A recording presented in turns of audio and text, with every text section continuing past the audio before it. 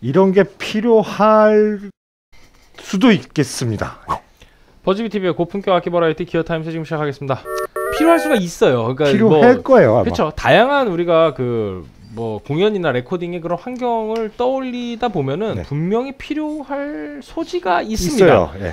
어 지금 우리가 오늘 뭘 할 거냐면은 시뮬 그러니까 시뮬레이터인데 뭘 시뮬레이터냐면 캐비넷을 시뮬레이터 하는 거 사실 처음 보거든요. 그러니까 앰프 헤드를 시뮬레이트하고 그렇죠. 캐비넷을 이렇게 뭐 멀티팩트에 달린 거 있잖아요. 음. 네네네. 4 곱하기 12, 뭐 네네네네. 12 곱하기 1. 그렇죠. 뭐. 그걸 고르잖아요. 예, 그걸 막. 고르잖아요. 예. 뭐 근데- 그 뒤에 뭐 열렸냐 뭐 이게 고르는데 아, 그건. 그냥 그건 그냥 조금 흉내를 내는 거고. 그렇죠, 그렇죠. 근데 그거를 좀 더 본격적으로 이제 아날로그 아날로그로. 장비를 통해서 어, 시뮬레이팅을 진짜 실제로 하겠다라는 건데, 근데 보면은 이게 분명히 그 의미가 있을 수밖에 없는 게 없대. 왜냐하면 그 multi effector 상에서 거기서 이제 한 건. 캐비넷 시 앰프 시뮬레이터를 거쳐서 캐비넷 시뮬레이터를 한 거는 애초에 사운드 자체가 시작 자체가 디지털이란 말이죠. 그렇죠. 시작 자체가 앰프 시뮬에서 시작을 하는 거잖아요. 예, 예. 시뮬을 캐비넷 시뮬을 거치면서 그냥 비슷한 사운드를 계속해서 찾아가고 있는데 어차피 출신 성분 자체가 아, 예. 예, 그 아날로그 앰프 헤드가 아니기 때문에 어쨌든 사운드가 그게 다를 수가 있어요. 근데 그렇죠. 이제 문제는 뭐 캐비넷 시뮬레이터 없이 우리가 뭐 앰프 헤드에서 direct로 받았을 때 예. 캐비넷을 통해야만 나오는 소리라는 게 분명히 있죠. 있죠. 그렇죠. 예. 그러니까 그게 뭐냐면 물리적인 소리죠. 그 물리적인 소리. 말 그대로 진짜 물리적인 그 에너지가 그대로 담긴 소리. 예. 우리가 그러니까 결국에는 앰프 miking이라는 거는 엄밀히 말하자면 캐비넷 사운드라는 거거든요. 그렇죠. 여기다 그렇죠. 대는 거니까. 캐비넷에다가 대서 스피커 앞에다. 대는 거죠. 그렇죠. 예. 결국에는 miking이라는 건 캐비넷 사운드이기 때문에 우리가 실제로 락이나 이런 곡들을 할때 그 보통 대부분 이제 레코딩 세션 분들이 와서 연주를 하실 때 대부분 하드 레코딩을 직접 한단 말이죠. 예. 거의 보통 direct로 예. 쏘죠. 그냥 그 캐논 direct로 들어가요 그냥 바로 네. 거기서 이제 뭐 우리 들어갈 때 뭐 컴프레서 하나 거치고, 거치고 뭐 맞아. 그런 식으로 프리 살짝 거친 다음에 이제 바로 하드. 레코딩으로 들어가는데 가끔씩 이제 장르에 따라서 앰프 miking을 할 때가 있어요 근데 그 앰프 miking을 하는 이유가 바로 그 물리적인 어떤 양감을 마이크로 네. 담아내기 위해서 하는 거란 말이죠 근데 그런 게 있을 때 항상 문제는 뭐냐 앰프 miking을 해서 의미가 있을 정도로 레코딩 현장에서 그 앰프를 그거를 쓰려면은 캐비넷이 실제로 크기가 상당해야지만 그게 의미가 있어요. miking을 하는. 예, 그렇죠. 그 그렇죠. 뭐 저 똘똘이 같은 걸로는 아무 의미가 없고 아무 의미가 없죠. 더. 예. 더 나쁘죠. 그렇죠. 아예. 그러니까 저런 거는 오히려 이 특별한 사운드를 만들기 위한 그런 실험적인 그런 거지. 그치. 그러니까 우리가 앰프 miking을 하는 기본적인 이유인 그 양감. 을 받는다라는 거는 결국에는 캐비넷 사이즈가 커야 되는 좀 건데 등치가 있어야죠. 그거 한번 나르려면 그게 일이 이게 보통 일이 아니거든요. 그리고 없어 잘. 잘 없죠. 잘 자기가 없어요. 사실 개인적으로 캐비넷 이만한 걸 갖고 계시는 분들은 없어요.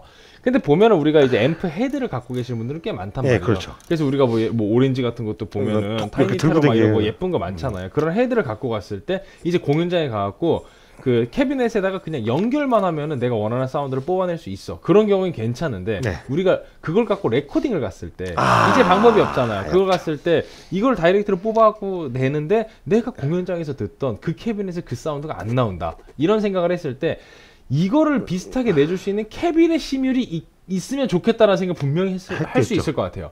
근데 보면은 이제 애초에 우리가 앰프 헤드를 쓰는 이유는 그 아날로그적인 그 감성이 좋기 때문에 쓰는 거잖아요. 예, 예. 근데 그거를 가지고 예를 들어서 무슨 뭐 디지털화를 해가지고 나가는 장비가 있다. 그럼 그건 안 쓰겠죠. 안 쓰겠죠. 아무도 안 아무도 쓰겠죠. 아무것도 안 쓰죠. 아날로그니까 당연히 아날로그를 통해서 나가는 거에 대해서 사람들이 옵션을 찾을 거란 말이죠. 네. 그렇다면 이제 이게 되는 거죠. 그러니까 이게 이제 캐비넷을 simulate를 해주는데 캐비넷 역할을 해주는 그렇죠. 단계죠. 이제. 그렇죠. 그러니까 애매한 캐비넷을 갖다가 miking을 하느니 차라리 얘를 가지고 뽑으면은 그 앰프 헤드에서 direct로 뽑혔을 때 나오는 소리에 대한 그 아쉬움을 덜어낼 수가 있고 어, 예. 그리고 multi effector에서 그 캐비넷 시뮬을 거쳤을 때 나는 그 밑단 없는 그 소리들을 예, 그 정- 벌충을 해줄 수가 그렇죠. 있고 그런 느낌으로 여러분들이 받아들이시면 될 것 같아요. 그래서 어, 좋은 앰프 헤드가 있으나 다이렉트로 녹음을 받는 거에 대해서 계속해서 아쉬움을 느끼셨던 분들 네, 그 양감의 아쉬움. 그렇죠. 네. 그리고 항상 뭔가 그런 그 앰프 마이킹에 대한 로망을 갖고 있으나 상황이 허락하지 않았던 분들 네. 그렇다면 이제 이쪽으로 충분히 해결할 수 있는 가능성이 있지 않을까 그런 생각이 듭니다. 자 그래서 뭐냐면은 저희가 이걸 아까 찾아보다 이게 뭐 프리앰프야 뭐야 이렇게 했는데 봤는데 없는 거예요. 전원이 없는 거예요. 전원이 없어요. 아니 이런 게 이 크기의 passive일 수가 있어 이랬는데 캐비넷이었던 거죠 이게. 캐비넷은 패시브죠. 패시브죠. 네 passive입니다. 우리 저렇게 캐비넷에 어. 캐비넷에 전원 꼽는 장치 없죠. 네, 그러니까 애초에 우리 저 스택형 앰프를 보면은 앰프 전원을 가지고 그냥 전달을 하는 예, 역할인 거죠 전달을, 예. 캐비넷은. 그러니까 얘가 그 캐비넷의 역할이기 때문에 그냥 얘는 앰프 load인 거예요, 그냥. 네. 그냥 이렇게 들어 여기 딱 보시면은 이쪽으로 지금 우리가 기타를 꽂아놓고 앰프 헤드에 들어가 있죠. 예, 그리고 헤드에서 요게 나왔어요. 일로 나온 겁니다. 일로 나와갖고 from speaker output이라고 돼 있잖아요. 예. from speaker 이렇게 돌려갖고 예. 볼게요. from speaker output. 우리 지금 이쪽으로 들어간 거고요. 그리고 이제 thru가 있어요. thru. to live speaker. 이거 라이브 할 때 이쪽으로 된다는 뽑아내면 거예요. 되거든요. 캐비넷 캐비넷. 캐비넷 캐비넷 네. 되고. 예. 가능한 거고요. balance direct out으로 지금 저희가 그 믹서로 보냈어요. 예, 여러분들은 여기, 여기 요 믹서. 믹서 사운드를 듣게 될 겁니다. 그러니까 중간에 얘가 있는 것만으로 사운드가 달라진다라는 거를 경험을 해볼 수가 있는 거겠죠. 그다음에 이제 line out, headphone out 이렇게 있습니다. 자, 다시 돌려서. 자 이렇게 놓고요. 그리고 요 앞에 보시면은 이제 inst level 여기서부터 예. mic level 마이너스 30 그리고 instrument 마이너스 10에서부터 line level 4까지 오. 굉장히 다양한 어, DI 레벨을 설정을 하실 수가 있습니다. 그리고 여기 보면은 phase 어? phase가 있어요. 그래서 그 여기선 어, 여기선 때. 가능하고요. ground lift 가능하고요. 그 상황에 따라서 뭐 사운드를 잡고 hum canceling을 하시는데 도움이 되는 요 두 가지 네. 기능이 있고요. 그다음에 여기선 그 캐비넷에 이제 성격을 선택할 수 있습니다. closed back, open back, 빈티지 캐비넷. 이게 세 가지를 선택할 수가 있어요. 그러니까 앰프 갖고 할 수 있는 거 이외에 나머지 그 큼지막한 여러 옵션들을 음. 저런 큼지막한 캐비넷 없이 얘로 할 수 있다. 네. 이런 거면 사실 굉장히 메리트가 될 수 있는 거죠. 음. 특히 갖고 있는 앰프 헤드가 뭐 고가의 그리고 고출력에 막 100와트, 150와트 막 이런 앰프 네, 헤드일 때 그럴 때는 진짜 캐비넷을 쓰자니 너무 부담스럽고 캐비넷을 안 쓰자니 앰프가 아깝고, 아깝고, 예. 이런 생각이 들때 그 뭐 여러분들의 뭐 사용기를 좀 보니까 예. 꽤 만족하고 쓰고 음. 계시더라고요. 그리고 다들 그, 생, 그 얘기들을 하세요. 그러니까 앰프 헤드가 고가인데 뭔가 얘를 지금 제대로 못 쓰고 있는 것 같다라 생각이 들 때 괜찮은 대안이. 됩니다. 43만 원이고요. 자 그러면 그냥 바로 한번 사운드 들어보겠습니다. 어떤 네. 사운드가 나오는지 믹서 사운드입니다. 지금 믹스. 자, 마샬 clean tone부터 해보죠. 마샬 소리를 여기로 이렇게 들으니까 좀 신기하네요 느낌이.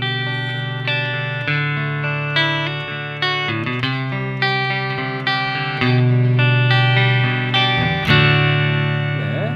EQ도 다 먹죠. 이제 지금 지금 그쵸. treble이 조금 없고 베이스 조금 없고.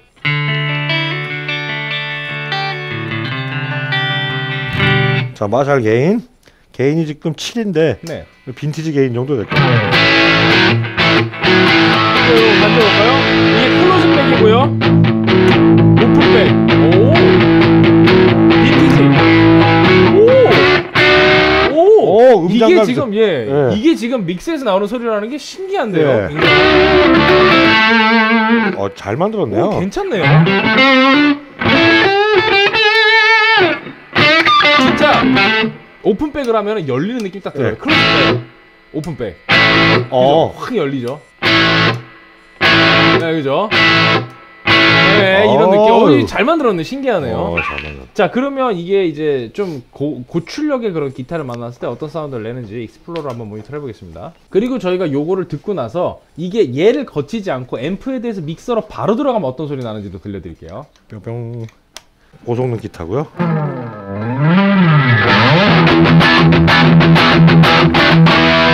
게인 더 넣어볼까요? 네.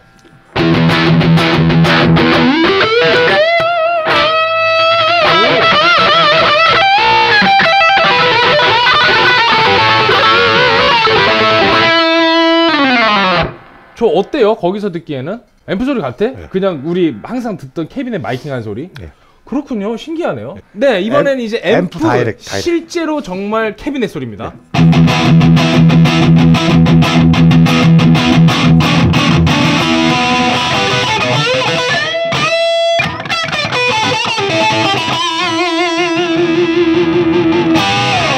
여기서 아까 우리 clean tone 한번 들어볼게요. 제로 들었던 거. 이거 기타 쳐 주시죠. 네, 마샬 clean tone. clean tone이요.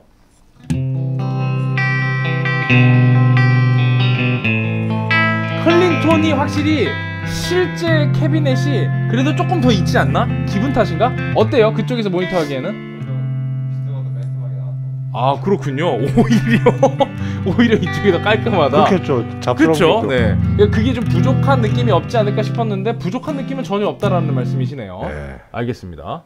아, 잡음도 안 들어가고 좋겠다. 그렇게 그러네요. 그러니까 오히려 이런 정말 물리적인 어떤 이런 압도적인 쏟아지는 것 같은 이 느낌이 필요한 게 아니라면 예. 되게 적절한 그, 그 뭐랄까 가성비라고 해야 될까 크기 대비 성능비 그렇게 크성비 네. 아, 그 성비. 뭐 그런 걸로 따지면 굉장히 효율적이겠네요. 그러면 이번에는 실제로 아무것도 거치지 않고 저 앰프에 대해서 믹서로 바로 가는 소리를 모니터 해 보겠습니다. 진짜로. 네. 네. 지금도 재밌는 구경 시켜드리겠습니다. 앰프헤드가 여기 와 있죠? 예. 저이 앰프헤드가 reverb를 줄이도록 하겠습니다. 와, reverb 소리 봐. 어, 아, 그래서 reverb 소리가 나는구나. 나겠죠. 그렇습니다.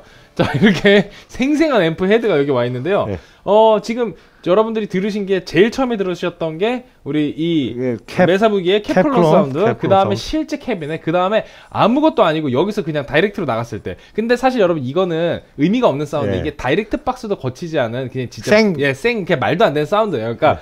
실제로 앰프에 대해서 아무것도 없이 믹서로 가면 어떤 현상이 일어나는지 그냥 여러분들 모니터 시켜드리려고 한 이거 거니까. 실생활서 실생활에서도 저거 할 수 있어요. 노래방 가갖고 음. 그 마이크 꽂는 데 있잖아요. 네네. 거기다 일렉트릭 기타를 꽂고 쳐보세요. 아 맞아요 그 그 소리 소리 납니다 제가 옛날에 그거 전축에다가 많이 했었거든요 그지 네. 똑같은 줄 알고 네, 그렇죠. direct box에 대한 개념이 없을 때니까 예. 네, 하여튼 해볼게요 와 클립 뜨는 거 봐 이 소리 납니다 이 소리 개인 넣어볼까요? 개인?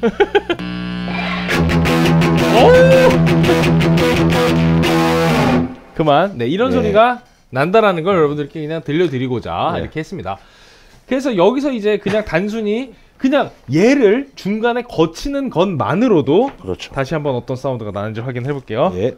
이렇게 해서 그냥 얘를 인에다가 딱 꽂- 인에다가 꼽고 그리고 그냥 됐습니다. 네.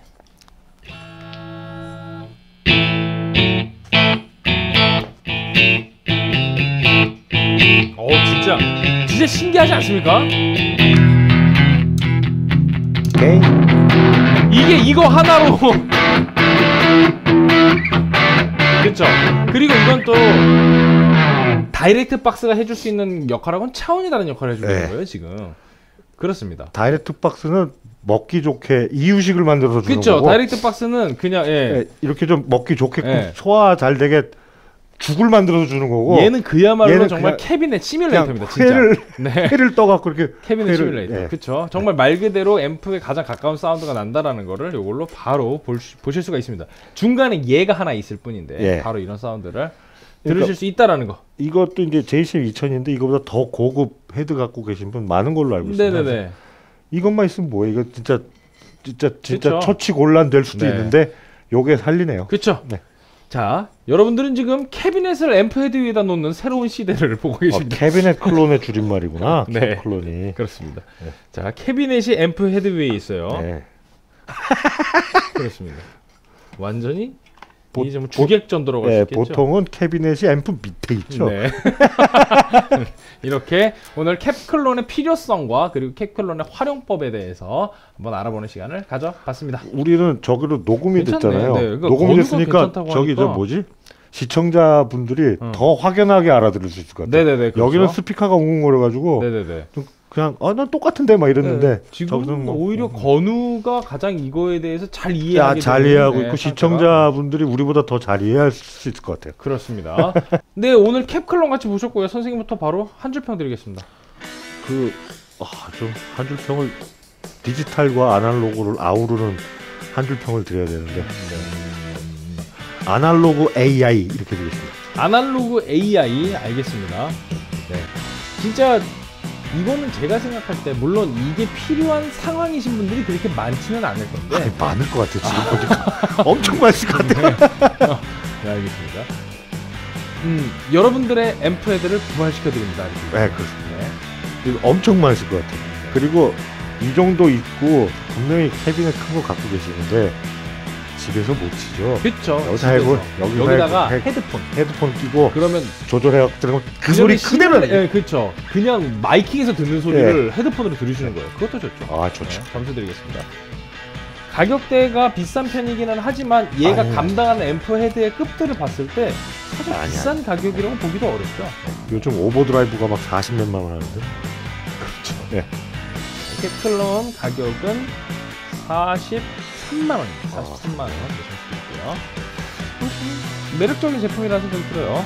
네, 점- 점수를 가변적으로 드릴, 드릴 것 같아요. 이거는